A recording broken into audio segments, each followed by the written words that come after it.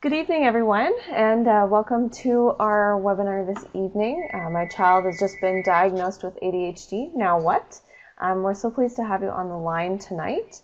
Um, as you, you may or may not know a little bit about CADDAC, but CADDAC is the Center for ADHD Awareness. We're a national profit organization providing leadership in education and advocacy um, for ADHD uh, communities across Canada. So we do educational series like this. You can follow us on uh, social media if you like. Uh, we also have a YouTube where there's lots of educational resources that you can access. For the webinar tonight, all our participants have been placed on mute. Uh, this helps to control the call quality this evening. So if you're having technical difficulties or if you have a question about the presentation or the content, you can just submit that into the Q&A chat box, which is on the left-hand side of the corner. Um, my name is Wendy. I'm the communications coordinator at the Center for ADHD, and I'll be sort of helping you out tonight with any of your technical questions, and I will also be uh, relaying any of the questions you have about the contact to Heidi. So Heidi uh, Bernhardt is our presenter tonight, and Heidi is a psychiatric nurse by training and mother of three young men with ADHD, and she's the founder and president of the Center for ADHD Awareness Canada. She has a wealth of knowledge that she's going to be sharing with you tonight, and we're really excited to get started. So, without further ado, I'm going to pass it over to Heidi, and she can go ahead.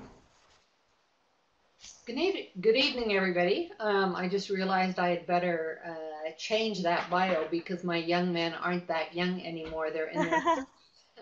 but, but regardless, just to let you know, I, I do have three grown sons with uh, ADHD and a husband with ADHD. So, um, been through a lot of this for many, many years and spoken to thousands and thousands of uh, parents going through the process of having their kids being diagnosed and asking the questions uh, you know, what to do now. So this is sort of a gathering of uh, information that I think is important for everybody to know when their child has been diagnosed and sort of a guide to next steps. So first question is, what do you do first when you find out your child's been diagnosed? And what you're doing tonight is exactly what you do first. You educate yourself about ADHD and when we talk about treatment for ADHD being multimodal, this is always the first step in treatment for children or anyone through the lifespan with ADHD is parents and adults with ADHD learning about ADHD, what it is, what it isn't, so you know what you're seeing, why your child is doing certain things or not doing certain things you want them to do. And this is the whole basis, actually, that is going to then move you forward into making good informed decisions.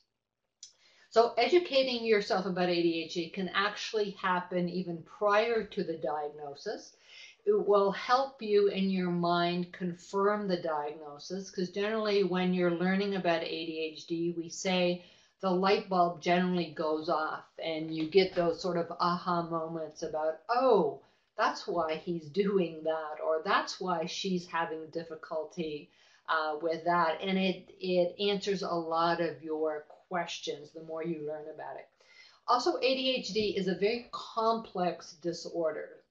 Um, so figuring out all the different varieties of impairments and presentations and what ADHD can actually impair in the child's functioning and sort of daily life is important. Also, there's a lot of myths, misinformation, misunderstanding out there about ADHD. So you need to learn the differences about the mess and what, what is actually fact. So you need to actually access good medically backed information. Um, so uh, some of the things you need to find out about is all the different ways ADHD can impair attention. ADHD is not just impairment in inattention.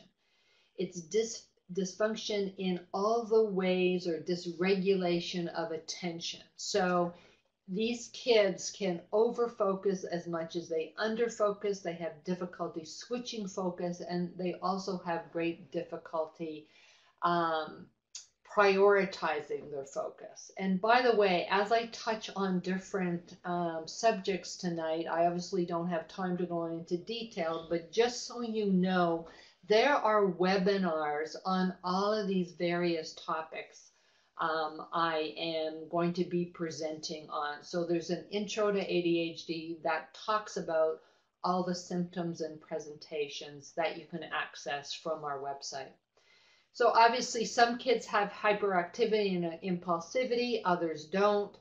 Some kids present totally differently than the classic sort of hyperactive little boy running around the classroom that we picture with ADHD. Um, some kids with ADHD can pre present as being very under um, or actually lethargic.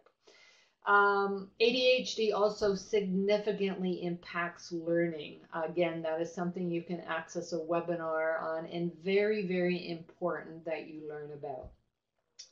Also, ADHD is now considered a disorder of self regulation, which also leads to emotional dysregulation.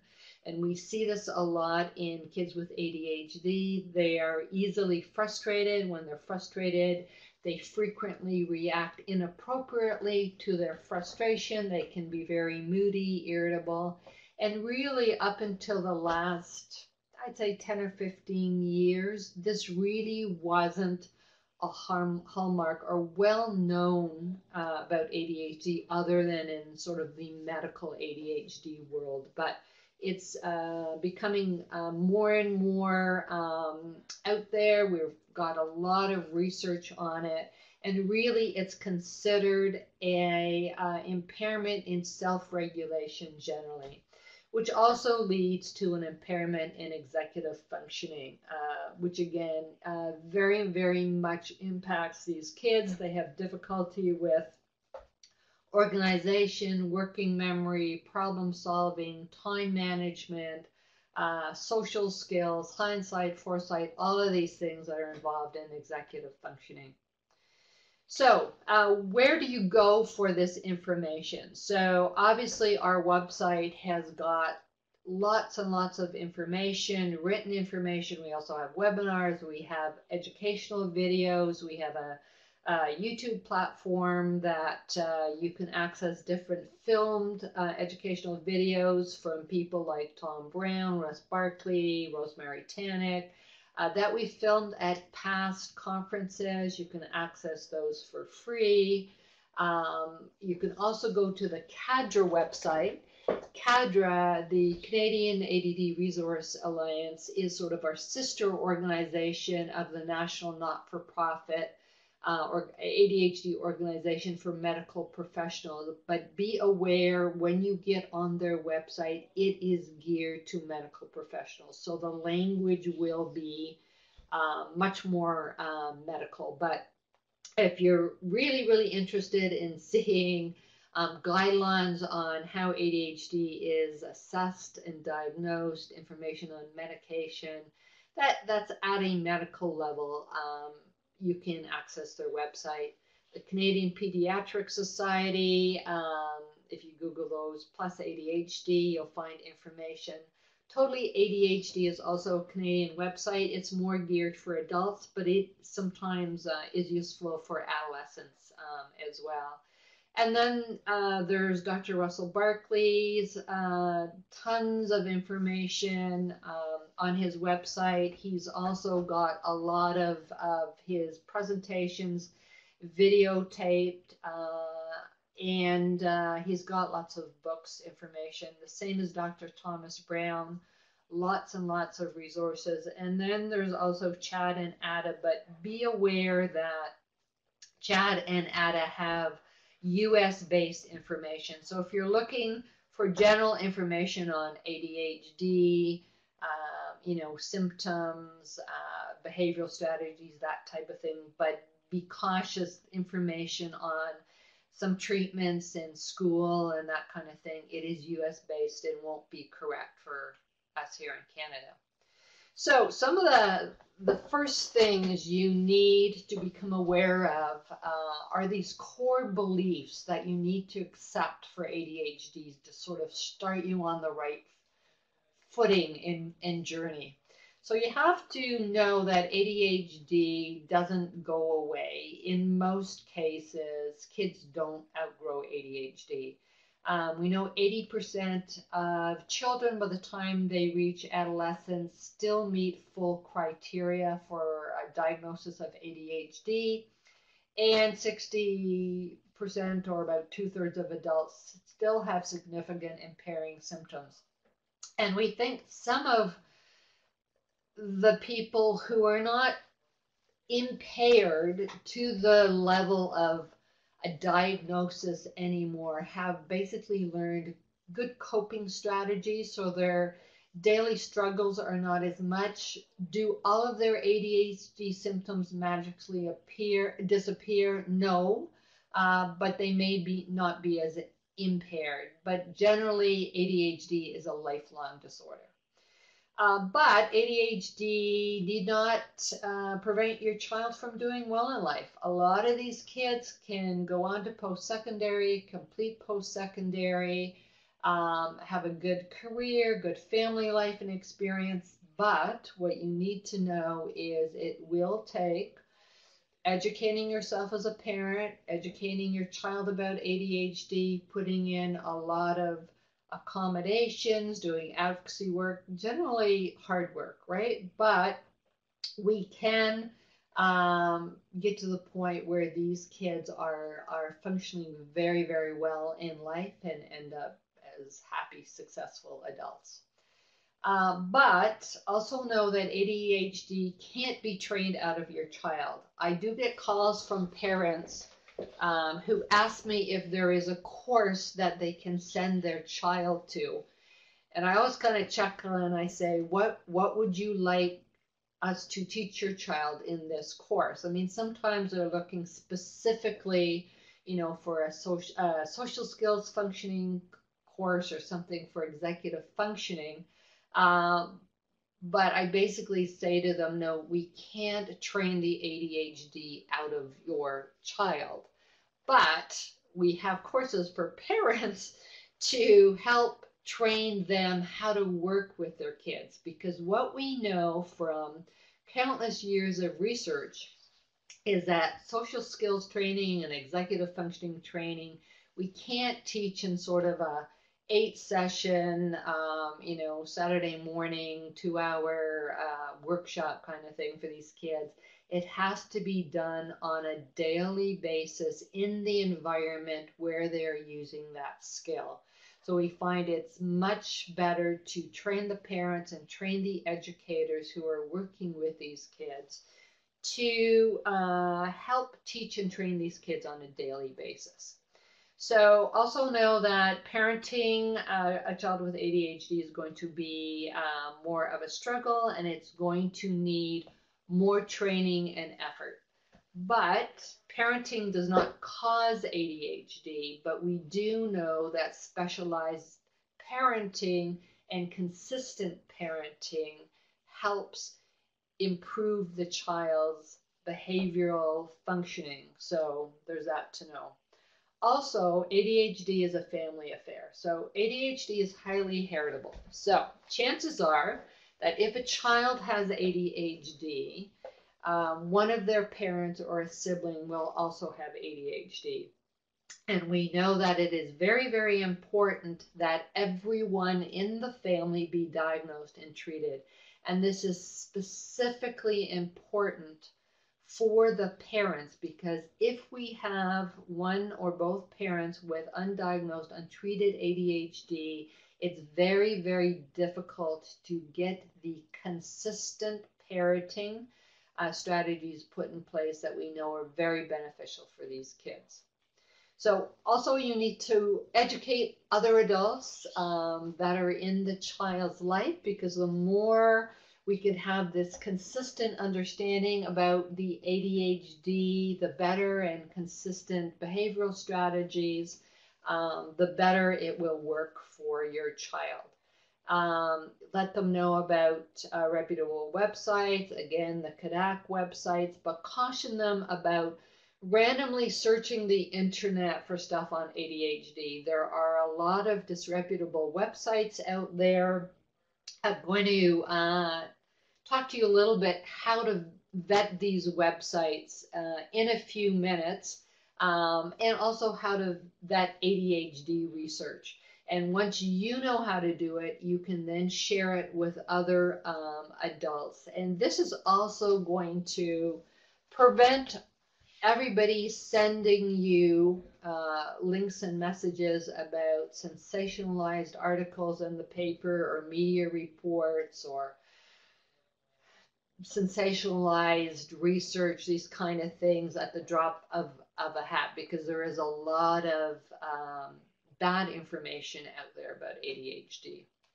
It's also important that uh, your child's siblings be educated uh, about ADHD. And again, there's lots of uh, resources that we can do that about with um, books, videos. I'm going to go into those exact resources in a, in a minute or two. So also, you need to educate your child about ADHD. So a child with ADHD needs to be informed in a positive and constructive way.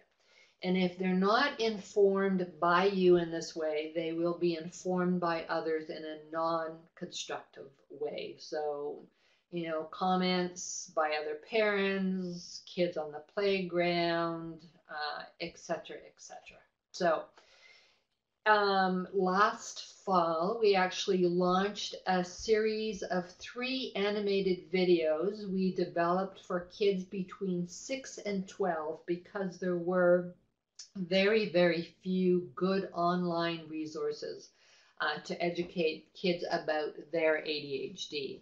And these three videos do it in a very positive, constructive um, way, using key messages like, you know, everyone has strengths and weaknesses.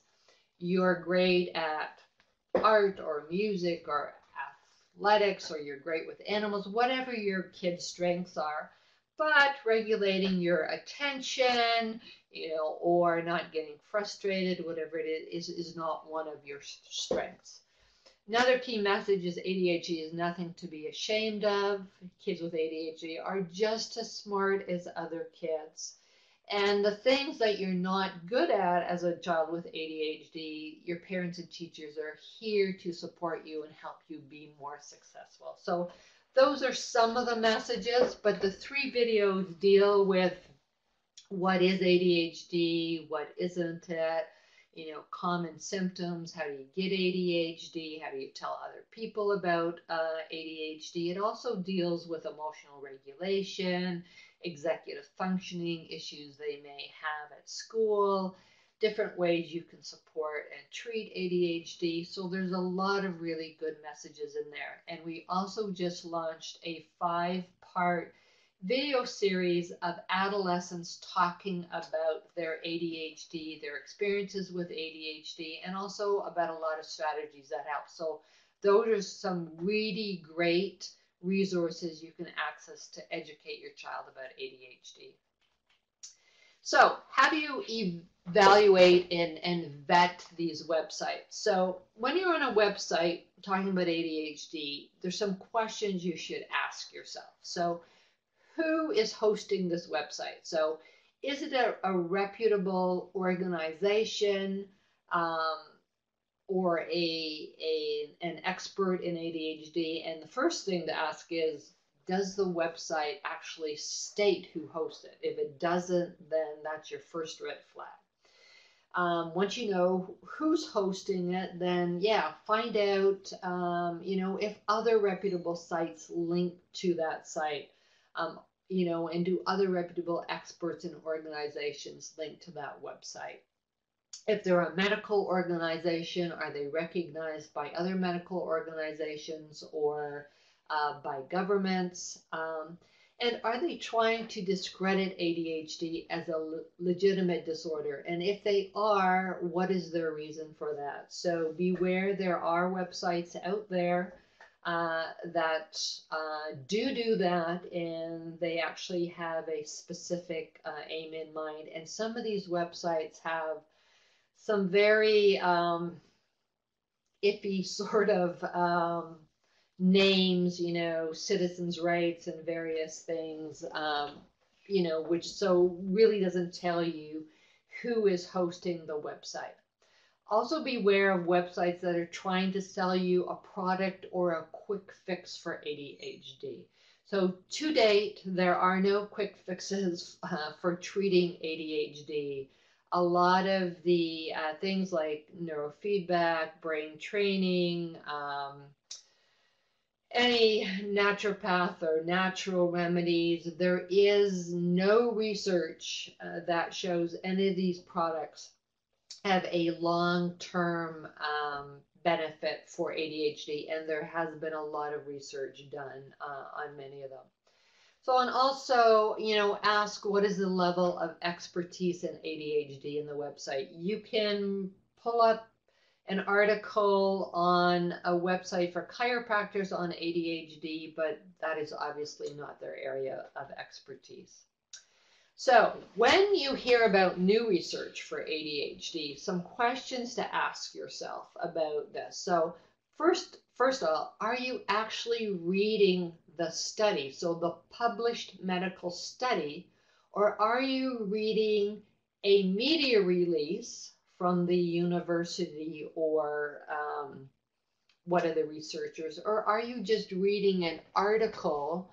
that is basically pulled facts from a media release and you're not actually reading the study. So the reason to be careful is a lot of media releases and these articles um, like to sensationalize. And when you actually read the study, what the study findings are are very, very different than the media release. I'll give you an example in a minute. But so some other questions. So has the study been published in a reputable medical journal?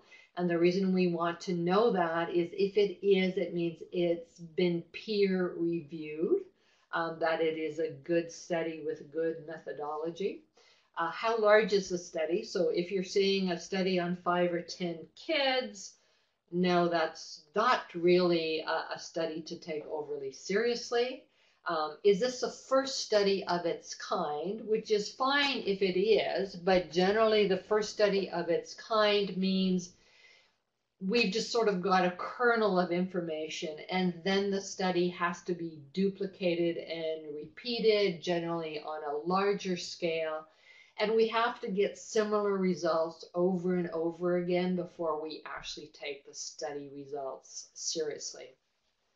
And does the study use proper methodology, right? So again, is it a study of 10 kids? Are they just collecting anecdotal information uh, rather than, than hard data? So that would not be good methodology.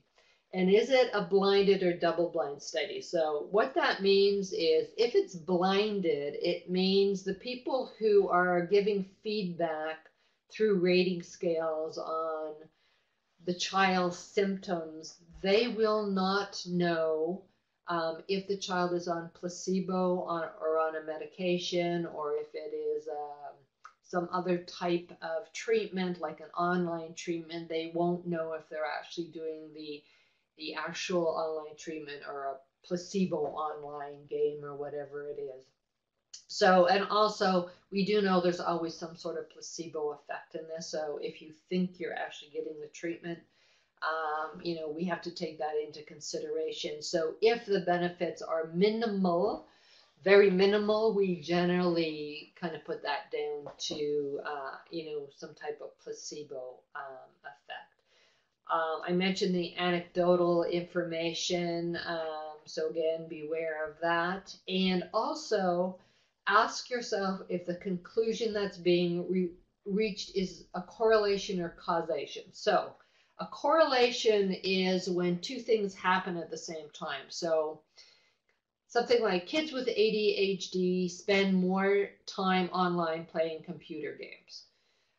So that's a correlation. Those two things happen at the same time. Um, but we can't say it's a causation. So we can't say, therefore, computer games cause ADHD, right? There's a difference between causation and correlation. So, you know, kind of think about the chicken and egg sort of thing. Which came came first? Are they occurring at the same time? So that did the ADHD come first and therefore they're playing more computer games because we know kids with ADHD are hugely drawn to these games, right? Or was the ADHD non-existent and, and they started playing computer games and the ADHD developed? So we know that that's not correct. So, some media, um, if you're seeing an article um, on ADHD, remember that the media's goal is to get the most eyes possible on their article. And I, I do have a lot of issues sometimes with media. I'm interviewed a lot by journalists on this.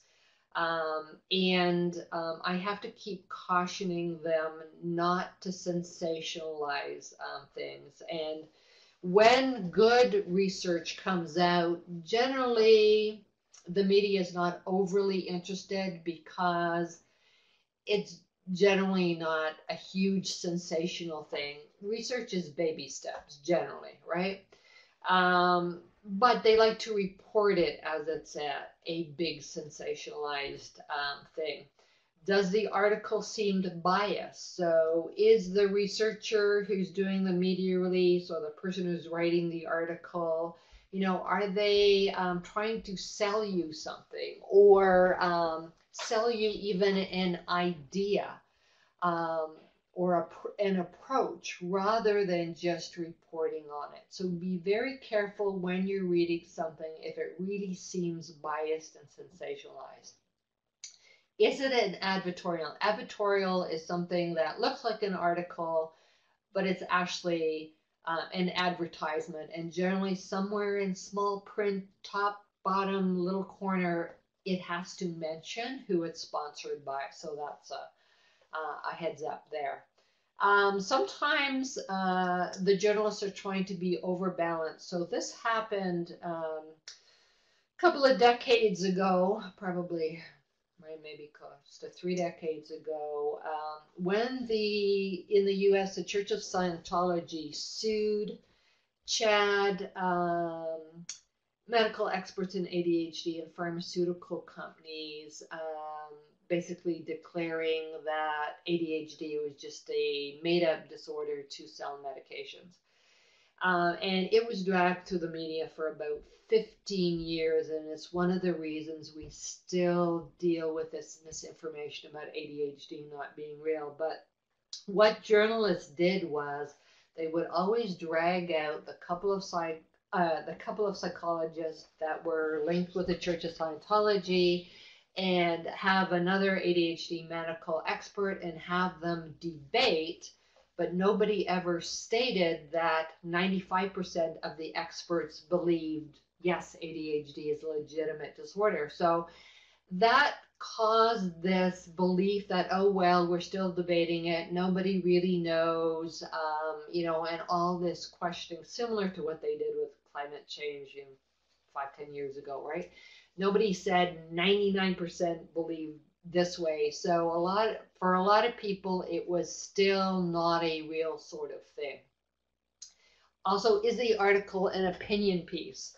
Uh, so be careful about that because um, years ago there was an opinion piece in the Globe and Mail, uh, basically again saying, well, maybe a few kids actually have ADHD, but this uh, person who was actually an educator believed that the majority of kids uh, were just using this as an excuse and weren't disciplined, all that regular stuff they hear. I actually sent a letter in complaining about it, and I got the pat kind of the answer was, well, this is an opinion piece. So I wrote back and I said, okay, take that opinion piece, and now every time the term ADHD is in there, put in the term depression, and then ask yourselves whether you would have actually published that article, whether it was an opinion piece questioning whether depression was a real um, disorder. Uh, they never did get back to me. But uh, also ask if the content is Canadian uh, and if they're quoting Canadian experts, because very often our media here will pick up information that's US based uh, and they will just report on it as if it's uh, Canadian based. So I was going to give you an example. Uh, about a week and a half ago, an article came out about a study on um, an online sort of game thing that um, they were reporting that they had seen great benefits for kids with ADHD on this, and I was contacted by a recorder, a reporter, about my opinion on this, uh, and I said, okay, what you've sent me is an article. You haven't actually sent me the study. So it took him about an hour, but he got me the study, and the actual study was very, very different than the media release made it sound, and the article made it sound that this was, uh, you know, a great breakthrough, and these there were great benefits. Well, when you read the study, it showed that one of the ways they tested the kids, it was also just a four week study. One of the ways through a TOVA online program, T O V A, it showed improvement but in all of the other ways that they used to evaluate these kids, and there were six or seven other ways, showed absolutely no improvement.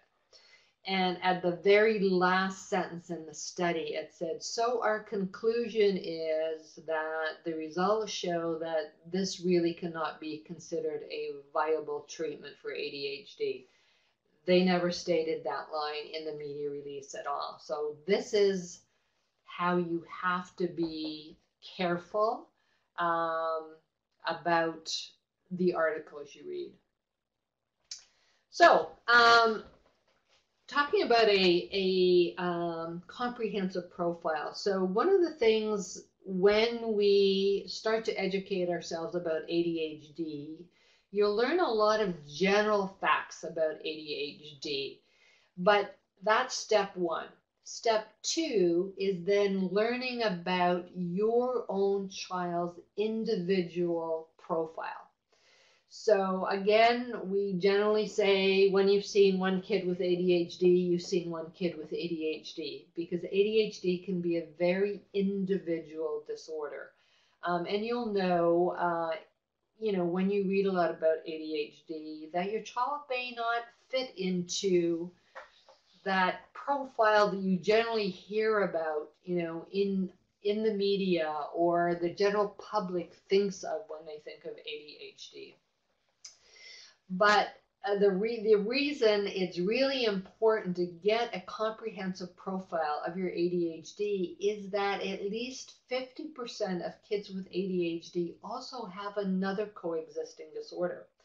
So just getting a diagnosis of ADHD may not be enough.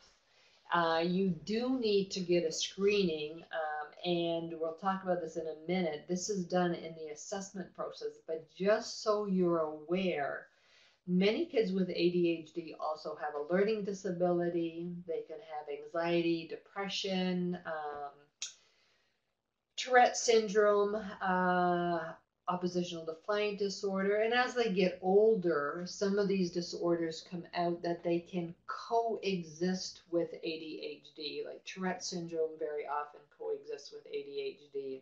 Or as they get older, especially untreated ADHD can lead to substance abuse as well. So ADHD also occurs with many other disorders such as autism, uh, Tourette syndrome, bipolar, and fetal alcohol uh, syndrome disorder. So we need to know that we have a very, very precise and detailed diagnosis of everything that's going on uh, with these kids. So this is a, just a quick slide from Dr. Uh, Rosemary Tannock that shows um, the coexistence of other disorders or what we see in kids with ADHD with their ADHD. And the reason there's a spread in the numbers is because these results come from a wide range of research studies and it depends on sort of how the study is is set up and sort of what their parameters are. What do they mean by a reading disorder, uh, for example? But be very aware that things like written language expression and co- um, coordination disorder is very common in kids with ADHD, as is oppositional defiant uh, disorder, and then the other sort of um, move up and down the scale from there. So, how do you get a comprehensive uh, profile, and what is a comprehensive profile? So, it's the full understanding of both your child's strengths and needs.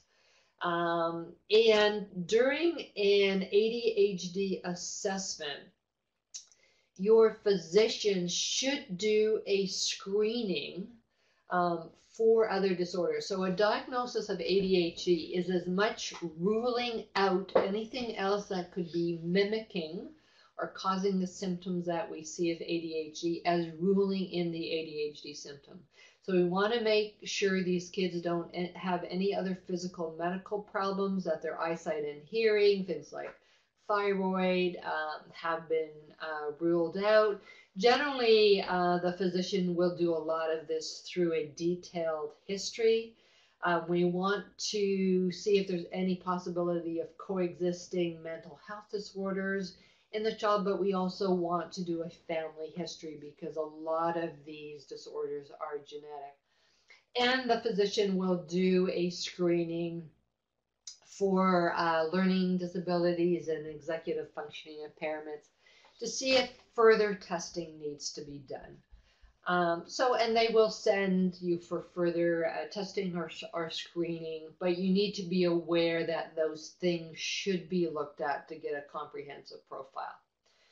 So, in some cases, physicians will recommend a psychoeducational assessment, and there's different reasons for this. So, if a screening has been done and the physician has flagged that there's a possible learning disability, then yes, you want a psychoeducational assessment to be done.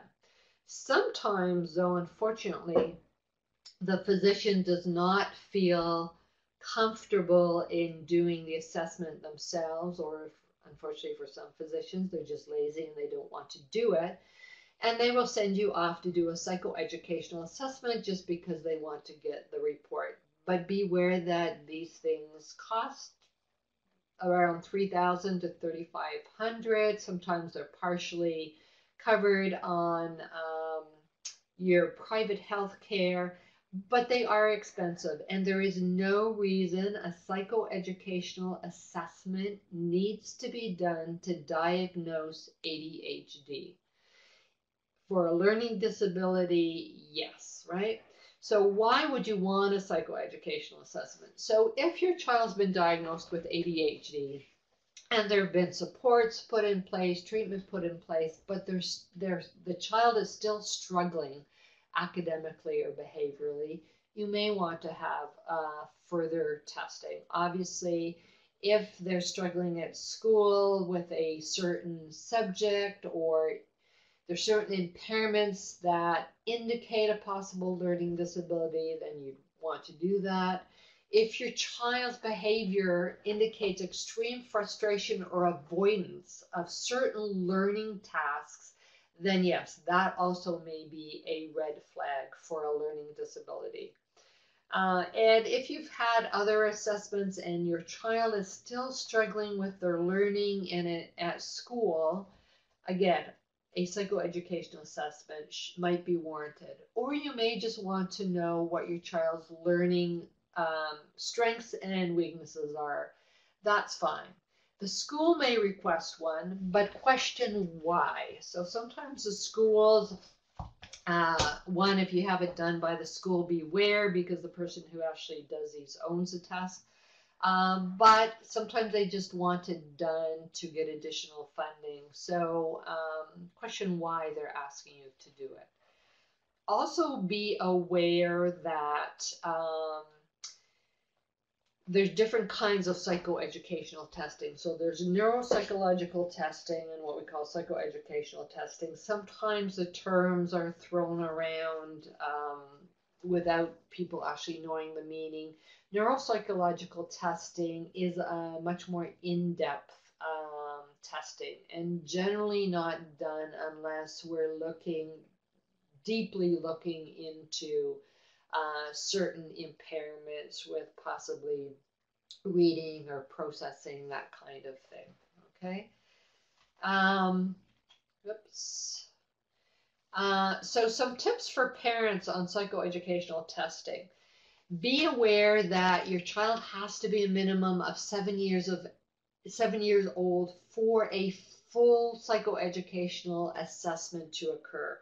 I've had parents who've uh, had their kids tested at five and six, paid all the money, and then uh, only to find out a couple years later that this was only partial testing and the school would not uh, accept it. So generally, we wait to seven years uh, of age. Um, I let you know you don't need it for an ADHD assessment. Um, you should confirm that the psychologist who's doing the testing is also an expert in ADHD and knowledgeable in school uh, advocacy. And the reason you want to know that is it makes a difference on what tests are done and how the reports um, are written if you're uh, looking for it to help out with uh, school advocacy. Uh, the psychologist needs to be registered to do a diagnosis.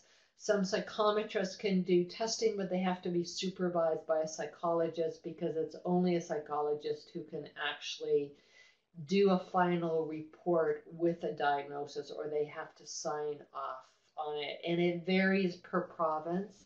Uh, some provinces, a master, uh, someone who has their master's in psychology can do uh, testing, but again, uh, whether they can diagnose or not. So just check that out and also ask going into the testing whether um, the report is going to have a very comprehensive list of recommendations because that's what you want. And you want the recommendations to be individualized for your child, not just a cut and paste of common recommendations for kids with ADHD.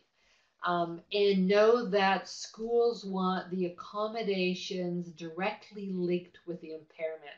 So if a psychologist lists just lists a whole bunch of things um, that would be good for this child and they're not linked to what they've actually seen as an impairment or has come up in their testing or, or um, data as an impairment, the schools won't take it seriously. And remember, the person who is paying for the testing, whether it be the parent or the school, dictates what tests are done, or at least how thorough the testing is going to be, and who owns the report. So if the school does the testing, they own the report and they can use the report in any way and they can actually use it against their, your child. They can basically say your child has not scored below average functioning in A, B, or C, so um, they do not qualify for accommodations. If you do the report, you own the report and you decide who you share it with. Uh, some language used in psychoed reports. Um, I mentioned this before. This is really, really important if you're going to share this at the school. Generally, if the report says recommend, in a school's eyes, that means suggest, and they can ignore it. It's better stated as it is essential that the student receive X, Y, or Z to be able to successfully access the curriculum. That sort of is the wording that makes schools kind of stand up and pay attention. So talk to your psychologist before you choose one to see how knowledgeable they are um, about the language for schools. And if you get a report from a psychologist that contains a lot of very personal information about your family, uh, you know, whether parents are divorced or, you know, things that you don't necessarily want the school to know or whatever, comments about your child, siblings, whatever, you can actually ask for the psychologist to re- remove that information. Information on the actual testing and finding, no, that has to stay in. But if it's other personal information, then that need not be there. And also remember that when you get a psychoeducational report, uh, do not expect educators to be trained to read those reports. They're actually no more trained uh, than you.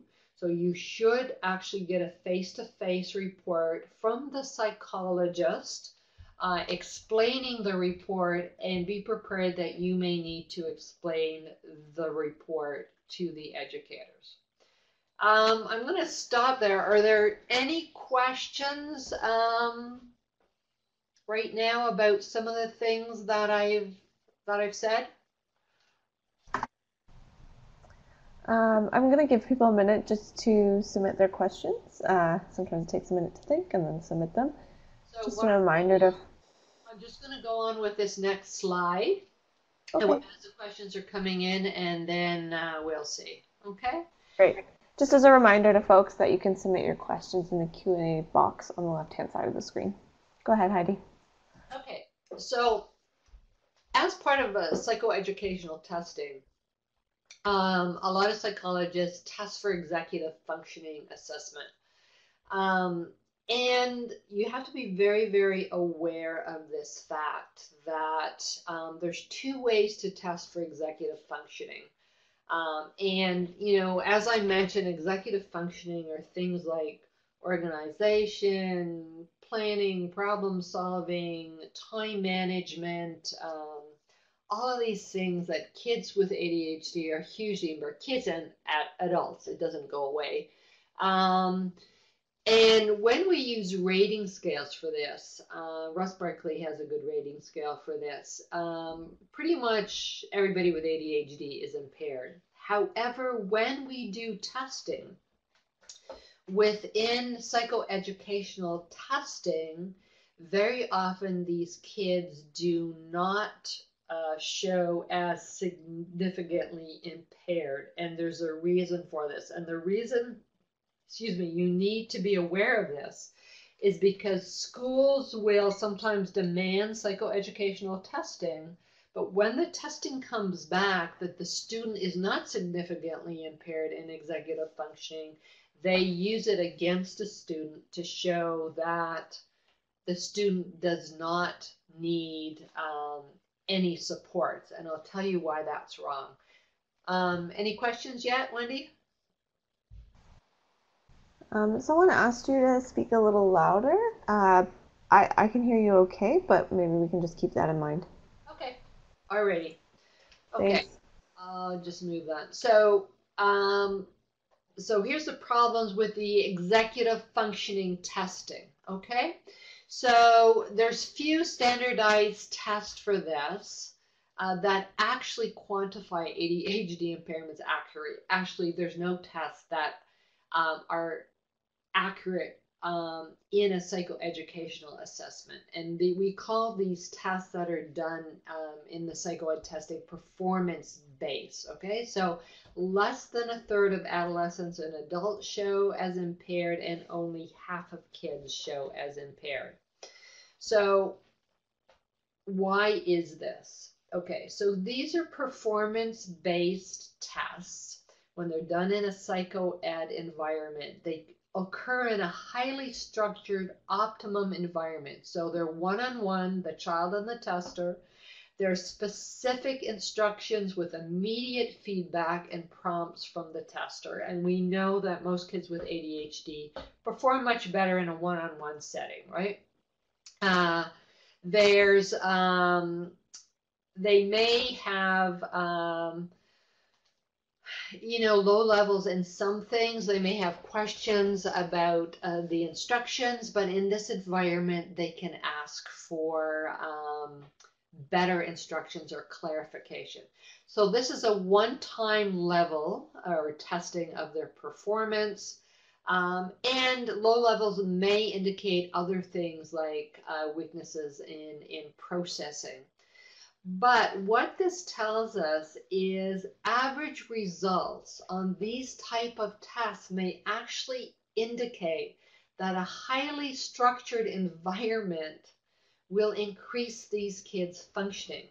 So rather than this testing being um, thought of as showing that these kids don't need support, it is showing us that when these kids are put in the optimum environment with one on one, with prompting, with more specific instructions and feedback, they do better, right?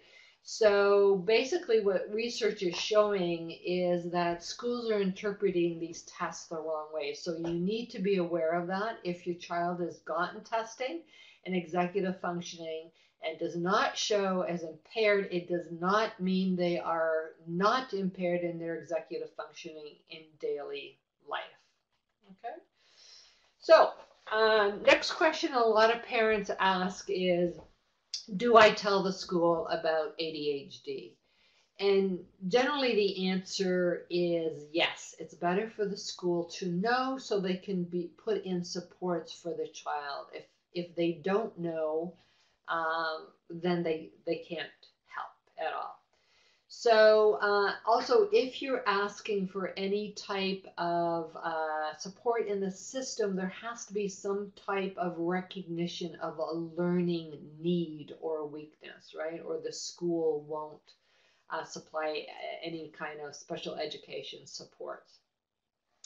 So, but choose wisely which uh, medical documents you share with the school. As I said before, you may wish to keep some family information private, uh, but make sure you share the whole child's profile with the school, including their strengths and accomplishments. We always say it's very important to start the meeting with the teacher talking about all of the fabulous things your child does, the interests, um, those kind of things. So they get to know your child as a whole and not just their impairments. And frequently, parents share their fear of labeling with me. So they say, Well, you know, I don't want my child to be labeled, um, you know, as having a disability or a special need but uh, and and sometimes the students actually say they they also don't want to be labeled. They don't want to go to special education uh, services for support or help because they don't want to be seen by their peers as being different. But our message generally is is if your child is struggling academically socially or behaviorally believe me every child in the class every teacher in that school, and most of the parents of the kids in your child's class have already labeled them in some way, but labeled them with an incorrect, stigmatizing label as this kid's not too bright, they're lazy, their parents obviously don't discipline them, etc., etc. So, really, wouldn't you rather we have the correct medical label than all of this? These stigmatizing wrong labels attached to your child. So, moving on to what you need to know about advocating for your child. So, um, know that, just know that advocacy is going to be a necessary part in your child's treatment plan. And at the beginning, obviously, you are going to have to do um, so as a parent, but hopefully eventually the child, especially as they if they go on to post secondary, will need to learn to advocate for themselves as well. An important message to you is that um, as a parent, don't give away your power. So even if you have some wonderful experts um, that work with you and your child, and there are wonderful uh, ADHD experts. There are wonderful educators out there. Uh, but know that you are the one who is always going to have your child, your child's interest and heart. And even if other people, um, you know, really want the best for your child, they're going to have time constraints. They're going to have divided loyalties. I mean, teachers obviously can only do what they're allowed to do. by their principal or board, etc., etc. And nobody can be a better advocate for you than your child. So it's really paramount that you learn how to be an advocate. So some of the first steps that you're going to have to go through is again educate yourself. Become knowledgeable about your provincial's healthcare uh, system and education system. You could access uh, CADDAC's provincial report card which you can access under the uh, education information or ADHD in education on our website. It's also under a policy paper where we do a write up on all the different provinces and how they treat or acknowledge ADHD by their educations of ministries.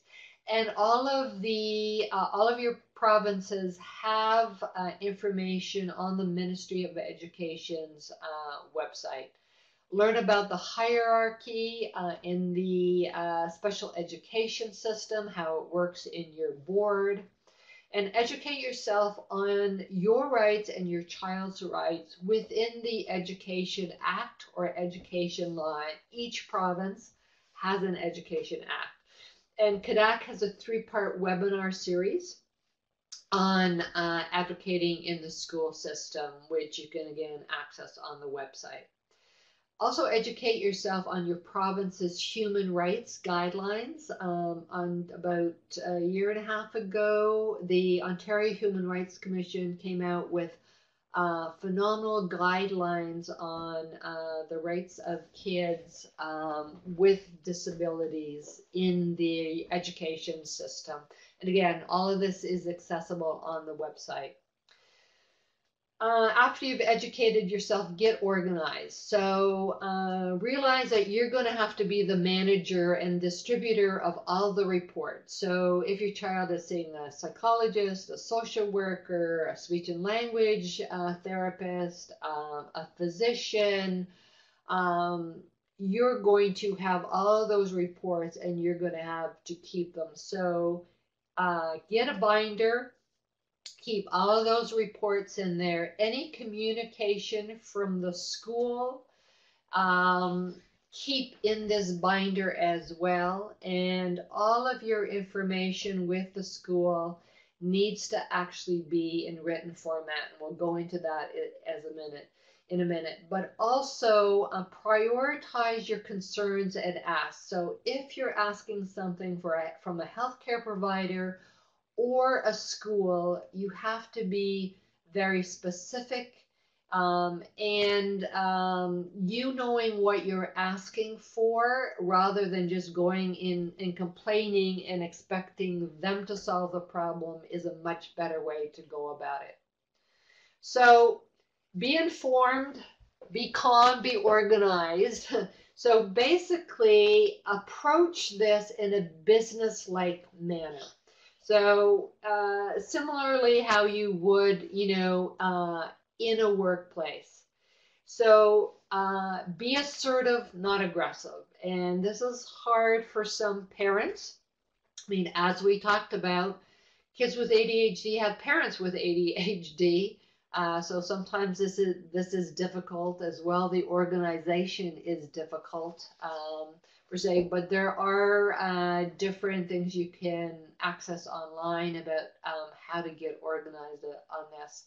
So, uh, just a little note an assertive person clearly states a point of view, but takes in account the other's points of view as well, and then works for the right outcome co- um, cooperatively. And that's a quote from a, a um, advocacy specialist by the name of Georgina Rayner, who um, I worked with uh, years ago um, on this. So, what does that mean? So, basically, you know, I've had parents go and talk to the school and demand that their child have a full time EA and all types of supports. And I mean, the message is we have to be a, a little bit realistic as well. I mean, there are kids who need a full time AE, but these are those kids that are very, very significantly um, impaired. So, again, there has to be some give and take, but you have to be assertive and not just cave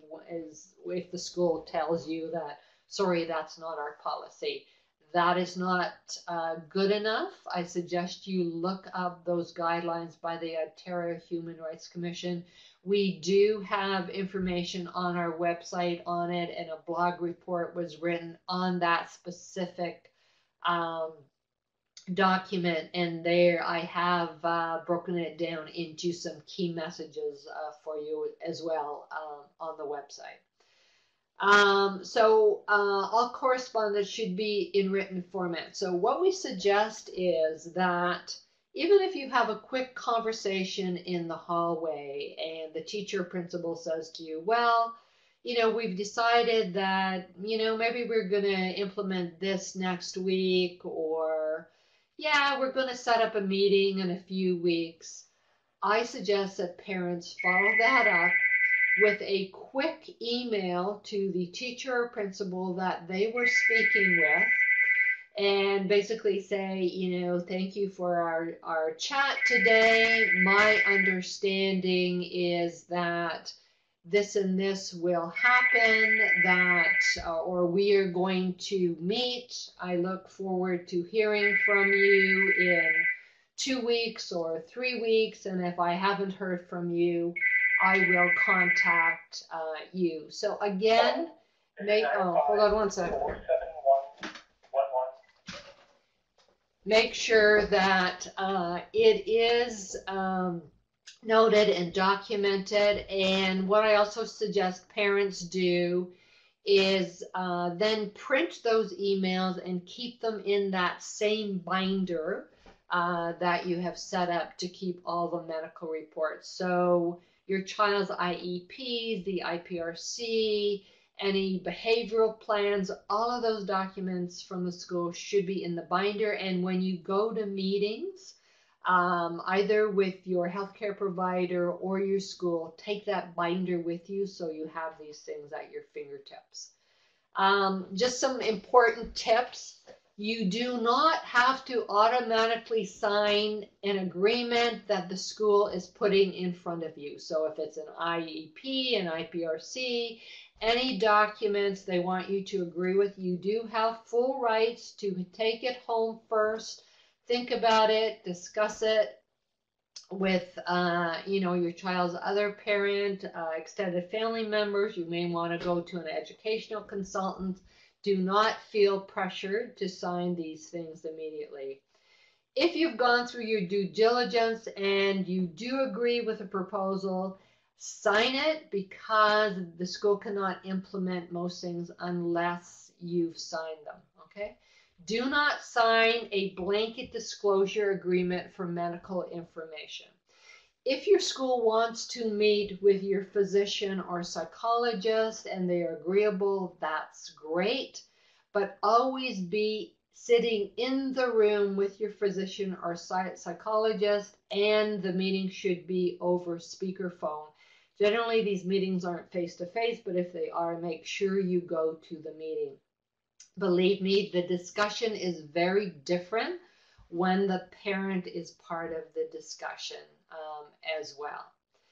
Um, so, and if accommodations or resources are going to be put in place, so if an IEP is done and there's accommodations in there, what I always recommend to parents is they meet with the school, I'd say at least every couple of months, meet with the teachers, sit with them, have the IEP in front of you, and say, okay, can we discuss how this accommodation has been put in place? If you get a blank look from the teacher um, and there is not an immediate response, you'll know that accommodation has not actually been put in place, right? So this is a way to hold schools accountable to the IEP. If you get a comment such as, oh, I tried that once or twice and it didn't work, then your comeback question should be, okay, what have you implemented instead? And how can we update the IEP to show that? So an IEP should be a living, breathing document that is constantly improved on until we get the best resources and accommodations for that child. And even when they we do, they may have to change from time to time because these kids change, right? Uh, okay, so just a few tips on um, IEPs. So, uh, and again, in different provinces, uh, there's di different ac acronyms for these names. So, but just know they're individual education uh, plans, and you'll see on the slide there's some other uh, terms we use for them.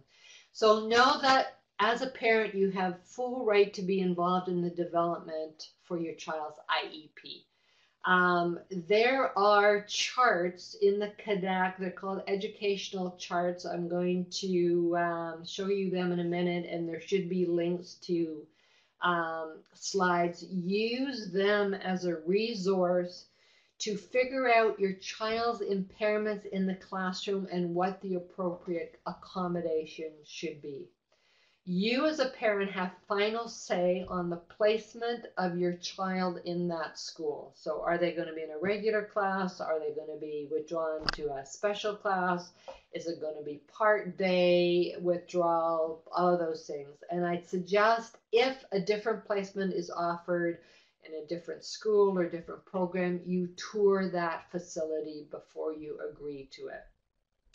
Review any plan in detail and make sure it's actually individualized to your child and not just a cut and paste for sort of general accommodations. If the accommodations don't seem to fit your child, challenge it and actually suggest what you think the appropriate accommodations uh, would be.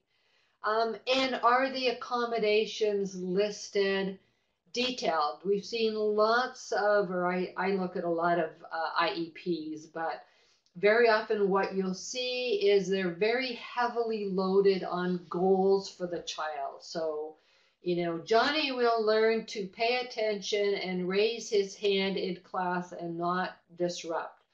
Um, you know, things like this, but they're very light on accommodations, or they'll use very vague terms like um, the teacher will do strategic teaching or modeling or prompting. What exactly does that mean, right? And how do you hold them accountable to vague terms like that, right? Also be aware of the term modification. So in some provinces, that term is used. In Ontario, it's used generally to mean the student is not working at grade level, right? The curriculum for that student is not at grade level. You need to know that. That's a red flag. That means your child is not working um, at the grade they should be and they're modifying uh, what they're learning and the work they're doing. But an accommodation means they're changing the environment, the teaching process, or how they're evaluating your child. And that's the term you generally want to see um, in an IEP. Sometimes um, there has to be modification, but the question uh, you should always ask is, okay, this is short term. What are we doing to bring my child up to grade level so we can change that modification to an accommodation? So these are the charts I was talking about. So um, I've developed um, a chart for elementary school and for high school, which um, has the ADHD symptom. It then is tied to how that symptom would impair a child in the classroom setting. And again, it lists a variety of ways. And then it is paired to a variety of accommodations that would assist with that impairment. This is a multi-page document.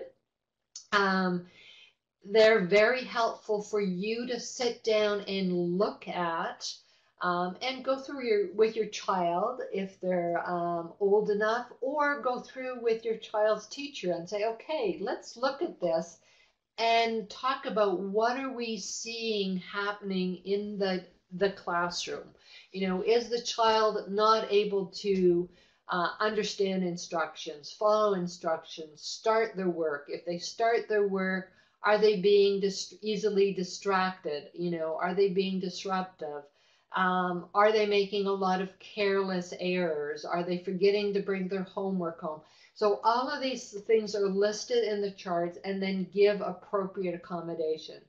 There's also another chart on teaching strategies for typical ADHD and executive functioning impairments. That is also a very useful strategy. And a lot of educators also use these charts to develop IEPs. And you can use these charts to understand and have input in your child's ADHD as well. And if you want your medical professional, your physician, to write a report to the school requesting certain accommodations, we also have instructions for medical professionals on how to use these charts to write a detailed uh, a report so you can share that with your physician as well. Um, these are just some examples. So this is what the first page of the teaching strategies looks like. So you can see left-hand column, there's an example of the an impairment in the classroom.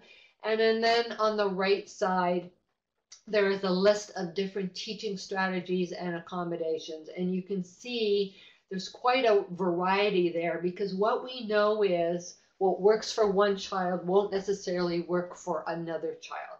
And sometimes the accommodations that we start out with on the IEP, as I mentioned, won't work. So we can go back to these charts and try something else. This is what the elementary school chart uh, looks like. And as you can see, there's little check boxes there. Uh, you or the physician or psychologist can use to check off when you go through this as to what you see as an impairment and a possible accommodation. And this is what the high school uh, chart looks like. So similar um, impairments, but accommodations are a little more geared and the, the impairments are a little more geared um, to an older child. So again, they're uh, easily accessible uh, on the website. You can print them, share them at will as long as you don't alter them or take our logo off. Um, okay, I'm just going to stop for a second before I go into the last bit of the presentation. Are there any other any questions?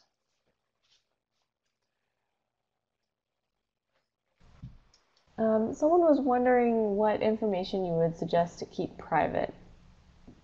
Um, what type of information um, are sort of personal family things? Um, if your child is, you know, sometimes kids have had uh, behavioral things that have happened in the community that the psychologist uh, may include. Um, you know, if there's um, any uh, family problems, uh, if there's problems with siblings, personal sort of family stuff that the school really doesn't need to know and is not going to help them know how to support your child, right?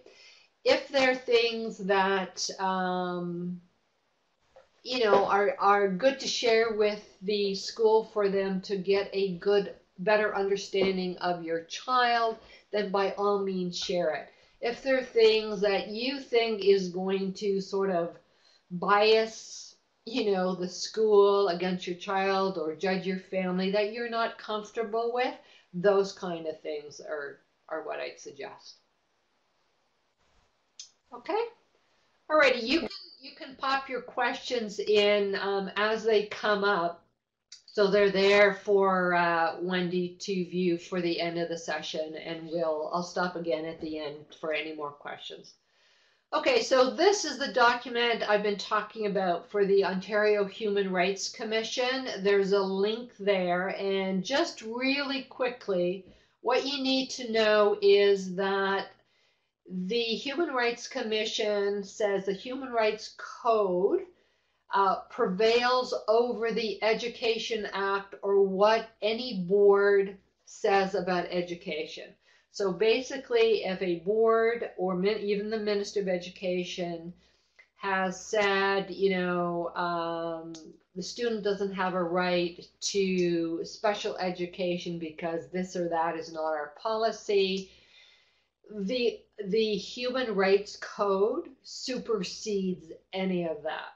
So it, they do recognize ADHD as a disability in this human rights document.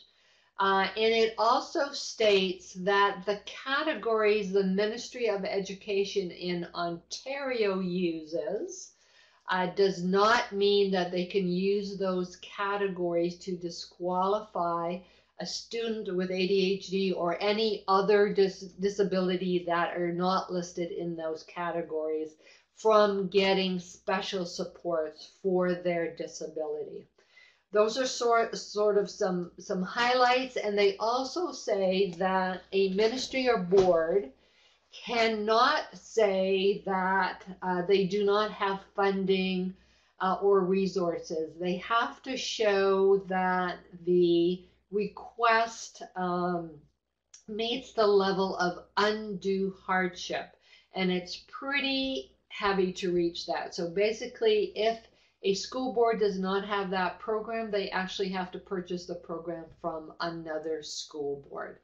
Now, it doesn't necessarily mean all these rights are automatically put in place, but uh, if you want to challenge it, this is a really good document to pull out of your back pocket when you're doing some advocacy work um, in the school system. And what I say to parents is even if you have absolutely no intention of filing a human rights claim, and I actually would caution against it because they are very traumatic to go through and, and a lot of work, especially when your kids are involved. But actually, just mentioning that you are aware of your child's rights according to the human rights uh, guidelines to exceptional uh, education uh, or categories uh, special ed for um, a student's disability they will set up and take notice and some parents um, I, you know I, i've kind of guided and said you know basically say listen, I really, really, really do not want to put in a human rights complaint. So I'm really hoping that we can, you know, come up with a good plan to support my um, child. So it's sort of a way of threatening without necessarily, you know, stating you're threatening. So be aware that your child has the automatic right to attend school for a full day so the same amount of time that their typical peers are going to school. They do not have to earn that right. It is their right as being a child and having a right to an education. So the only time a shortened day should be an option is the to allow the student a slower integration into a program and it should be a temporary option. Okay, so shortened days are not an option if it is at the sole beneficiary of the school because they have inadequate staff. Okay, resources uh, or the lack of them uh, should not implement on the student's right for supports students, as I said, our schools need to find a way for the student to remain at school the entire day. It is not a matter of the, the student earning that right. Unfortunately, schools these days are using what they call exclusion. So it's not like an expulsion. because expulsion needs a lot of paperwork tied to it, or a suspension needs paperwork. A school exclusion is when a child is asked not to attend school um, for a certain amount of time or asked to leave early or arrive late on a regular basis. And unfortunately, there's no time limit on this, um, and it doesn't require paperwork. But um, uh, the governments are becoming much more aware of this, and there were there's been articles in the paper, and the Arch Disability Law Center uh, has become very aware of this um, as well. So there's no oversight from school boards on this, um, or the Ontario uh, Education Ministry doesn't track it.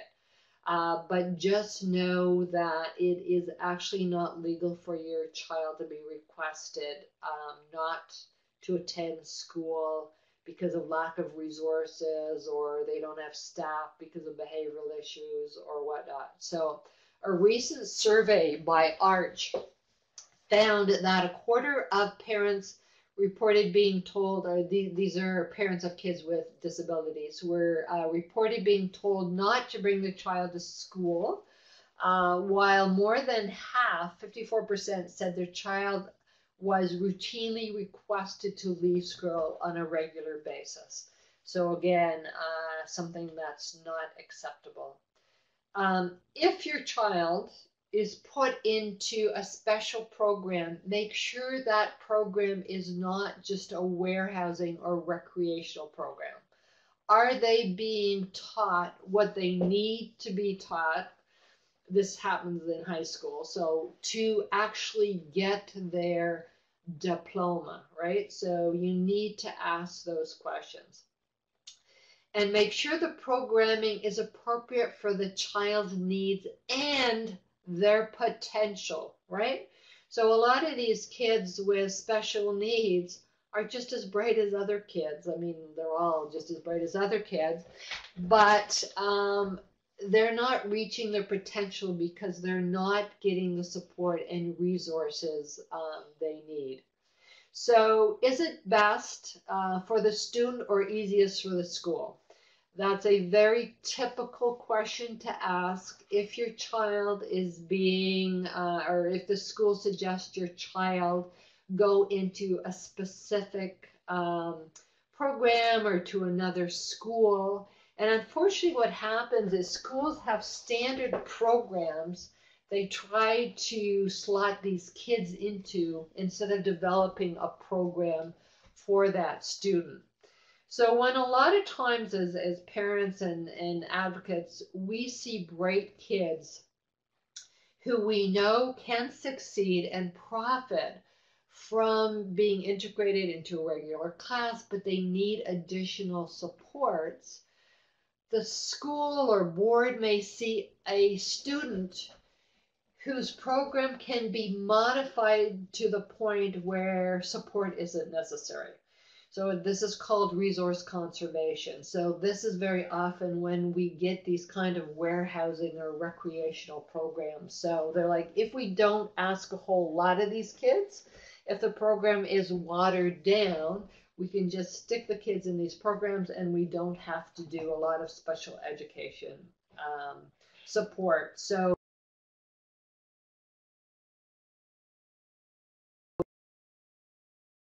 be very aware of those kind of things. So, and also be aware that we generally do not repeat grades for these kids. The same experience over again is not going to help improve their learning. Um, if the kid is, uh, the student is struggling, uh, then we need to question uh, what other supports we can put in place. And if the uh, student is being suspended, um, know that suspensions for disability related behavior is unacceptable, and we have a law about this in Ontario. Um, so, if the um, behavioral things you're seeing or lack of getting work done or whatever it is, you know, that the student is being disciplined for, if it is being caused by their disability, a suspension is not acceptable. So, and if the student is suspended, some questions you should ask is, is that suspension going to help the child correct their behavior? Very often, our kids with ADHD don't even really understand why they're being suspended. So, how is that going to help correct their behavior? Or they look at this suspension being a reward a lot of these kids really do not enjoy school. So being able to stay home is not going to correct their behavior.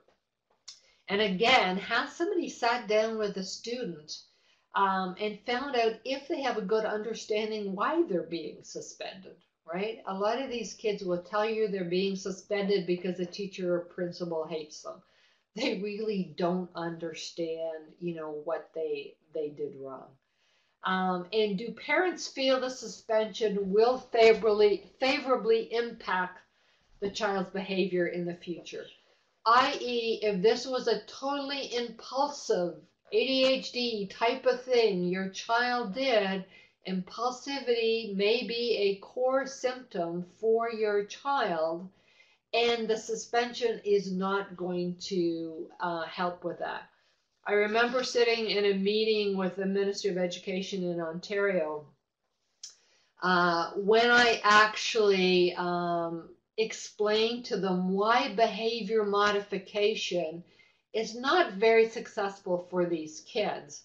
And I said to them, for a consequence of behavior modification to work, the student actually has to be able to consider the consequence before they do the act or deed for that consequence to have any value. If these kids are very impulsive, and we know it's sort of in the mind, out the mouth, or in the mind and they've done the deed and they'll figure out it wasn't a good thing to do well after they've done it, suspending them for that type of behavior is not going to improve their behavior. So also think about how suspension is going to impact the student academically. If they're already behind, missing school is not going to help. And how is the suspension going to impact their self-esteem? all questions parents should ask and parents should ask of the school when a suspension is put in place. And by the way, if your child is suspended, you should receive um, paperwork at the time of the suspension that totally documents what happened, why the child was suspended, and uh, you know ask those questions. If there were other kids involved were the other kids suspended exactly what happened? And you do have the right to actually question suspensions um, and ask to go to a hearing about it so really quickly um, adhd treatment as i mentioned treatment should always always be multimodal never just medication and, but medication can be very beneficial, but it's always an individual case case by case decision. Psychoeducation, as I said, which what you're doing tonight should always be the first step. And generally, then we look at things like, um, you know, having the optimum lifestyle, so good sleep habits, a healthy diet, not an elimination diet, a good, healthy, balanced diet, high in proteins, which we just know is good for brain functioning. Aerobic exercise is good for um, brain functioning. And then putting in parenting strategies at home, uh, school accommodation, um, school accommodations, and teaching strategies should all be the first uh, steps, right? We we do that all, and then when we, if we are still seeing significant symptoms um, and impairments with the ADHD, that's when we consider medication. Now, obviously, if we're in uh, a situation uh, where um, there's safety issues um, or, you know, the child is hugely struggling um, at school, we may decide, you know, that medication is uh, an option first. But again, medication should never, ever be the only option all of these things need to be put in place as well. And then other things um, like mindfulness, tutoring for executive functioning, weaknesses for kids are good. For older adolescents and adults, things like uh, CBT um, as well. And medication is always a difficult decision for parents. I don't care what media tells you. I've never um, met parents who jump at the chance for putting their ch- kids on medication. But what I'll just say is that if both parents are not on the same page, this is really difficult because uh, the kids pick up on this. One uh, parent can sabotage the treatment, it becomes a power struggle.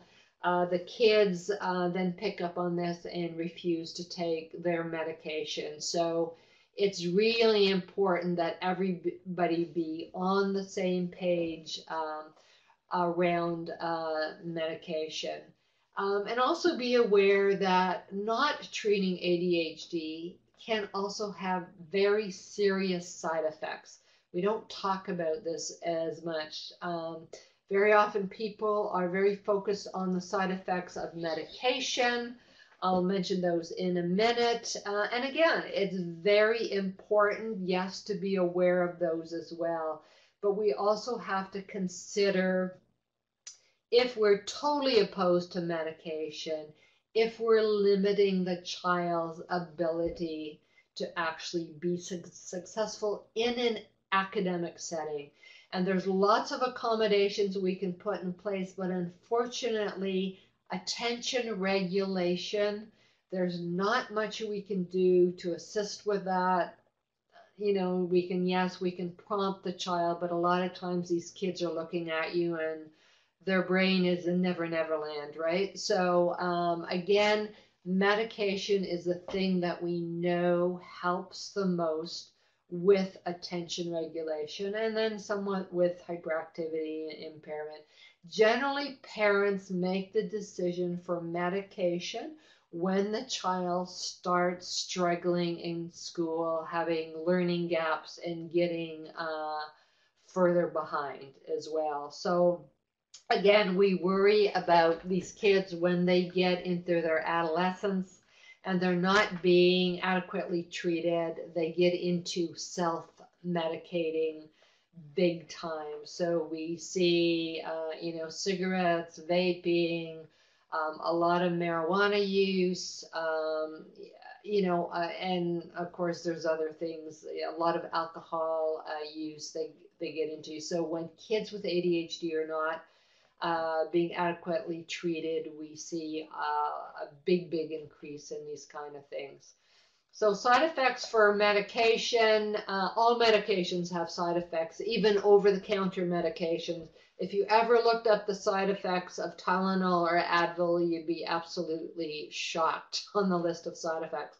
But as I said, it's important to know what side effects to expect short term, long term, when they become an issue. And obviously, our goal is also always to have the best efficacy or uh, symptom treatment with the least amount of side effects. Um, and again, um, mild things that we frequently see. Um, in most kids, appetite suppression and issues with sleep can be dealt with with some strategies. Obviously, if we have significant issues with that, we lower the dose or we change medication. Um, you know, some of the more serious side effects to be aware of is if the child is too wired or irritable, again, contact your doctor immediately. Um, there is a medication chart on our website. You can also go to the CADDRA website to look up side effects, but also know that serious side effects are very, very rare. These medications have been around since the 1940s and 50s, at least the, the core molecule, so they've been a, around a long, long time. But again, if your doctor does not inform you of short term, long term, and serious side effects, just so you know, ask them because that's definitely something you need to be aware of. And finding the right medication, um, some of you may just be starting this journey. Um, you know, there's some questions the doctor will ask, um, you know, before they choose a medication we don't know at this point in our research what the best medication will be for any specific individual. If other family members are on a particular medication, generally we'll start on that first. but unfortunately, it's still a bit of trial and error to get the right medication and get the right dose. And then there's questions about, you know, do we want these medications to work more in the morning? How long do we ask want them to last? How quickly do we want uh, them to kick in? Can the child swallow the pill?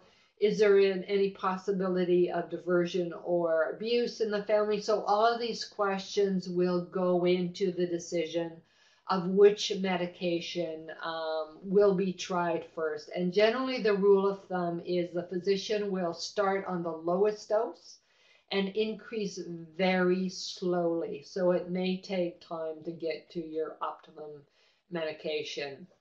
And just uh, the last message here on alternative treatments.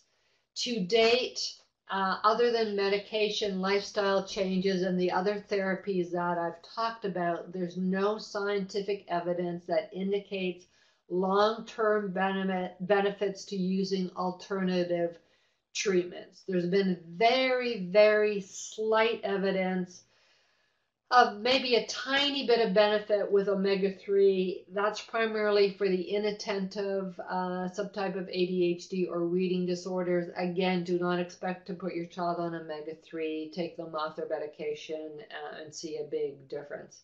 Uh, to date, neurofeedback or any brain training um, things, including CogMed, have shown no long term positive benefits. I've known uh, families who spent tens of thousands of dollars on this stuff. Um, and unfortunately, everybody is looking for that magic bullet to treat ADHD or make ADHD go away. But to date, we have not found one. Um, also, be aware if you are usually using natural products or natural products that may have a stimulant effect.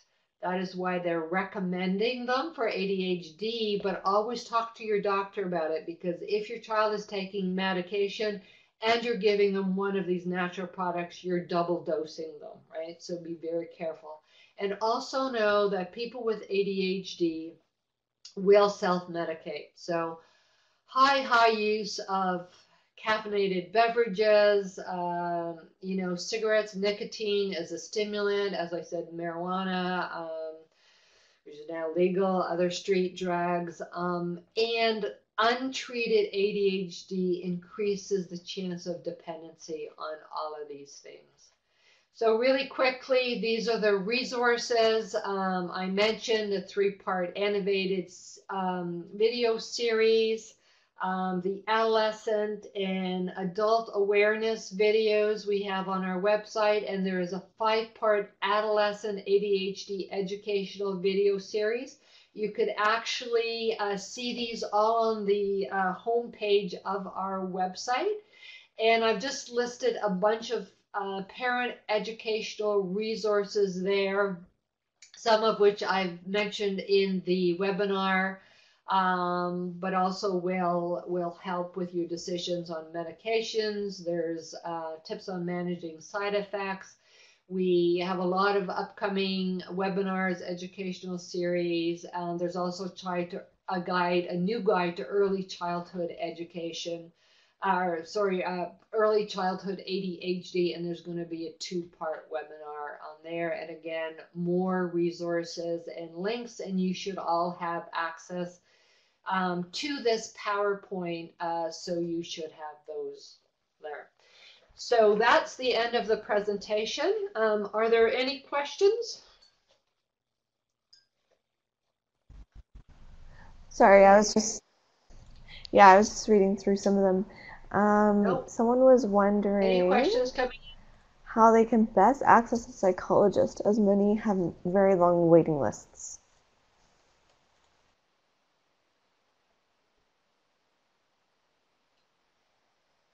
Uh, psychologists or child and adolescent psychiatrists. Generally, psychologists do not have long waiting lists because they are not covered by OHIP and you have to pay out of pocket.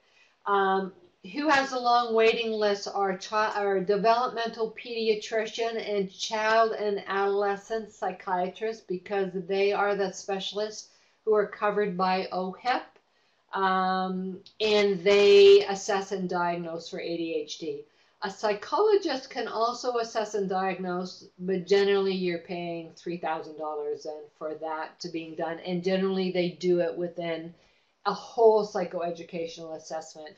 And yes, we generally have six months to 12 month waiting lists for pediatricians or child and adolescent psychiatrists. We do have resource lists, so you can contact um, us to get a resource list of medical professionals uh, we know of who are experts in ADHD for your province. Someone was ac- also asking if you had heard of the Tomatis method.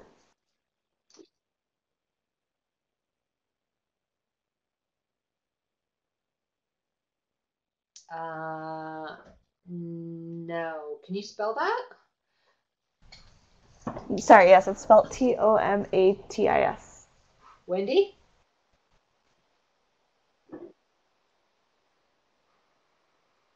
Oh, okay. Uh, I have not heard of it at all. Is this a method for teaching skills Doesn't say right now, so I'll just let the person uh, remedy? answer.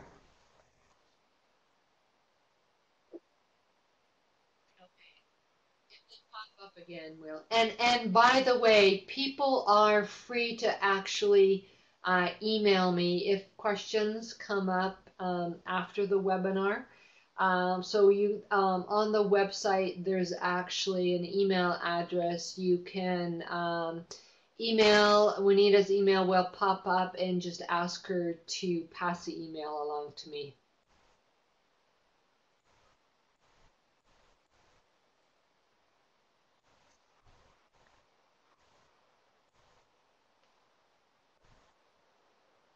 Nothing else is coming through right now.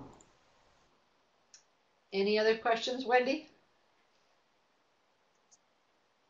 Okay, so as I said, if questions come up, uh, you know, later, if you've got certain questions on the webinar, if you've got questions on school advocacy, um, you can contact the office for resources, as I said, of medical professionals.